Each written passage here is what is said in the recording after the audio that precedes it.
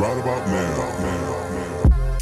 And we got some more popping. We bring exactly what you're wanting more often. The whole team's feeding to watch your jaw drop. This is WHOA TV, and we got you all watching. Big Ben Smith, welcome to WHOA TV, mate. All right, mate. You alright? Yeah, I'm good, mate. How's Yeah. training going? It's going well, as you know. Yeah, wicked, wicked. Well, what, what do you think of your um, next opponent then?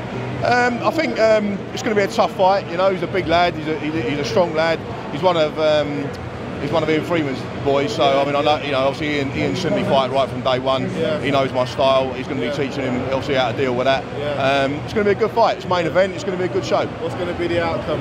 Oh, I'll, I'll win. Yeah. I'll, I'll def- I'm definitely confident. Um, I think I think he, from what I've seen, he's a bit of a brawler. Um, I know how to deal with brawlers. You know. Yeah, yeah, definitely. Obviously, we train together and everything. Do conditioning. We've started. We started sparring together and everything now. So what's what, what, what's going to be your game plan for, for, for the for the fight?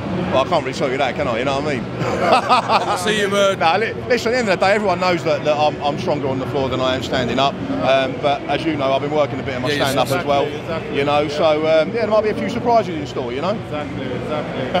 how you how you find it down the sunny tonight? You enjoying it? Yeah, it's or- good. It's good. Yeah, I came here um, a couple of years ago when they had a show here. Um, you know, it's a good atmosphere. I, I like seeing all the fighting going on. I mean, as it happens, I, this uh, ama- the, the amateur MMA league, I started off my career in that a couple of years ago in 2008. What do you what do you uh, think of the MMA uh, like amateur? Do you think it's a good Yeah, idea? it's, it's really good. uh, Yeah? I, yeah, I think it's very good. It, it brings people through. I mean, I, only did it to be honest with you. I, I never had any, any intention of turning pro, but I did the, the first round in Birmingham a couple of years ago, and uh, and I done very well.